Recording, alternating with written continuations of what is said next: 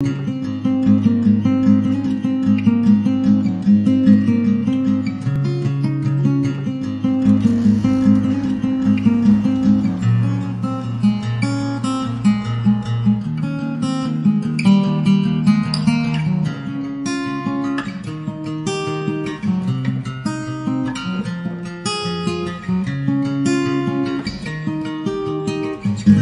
about to do a sporting event.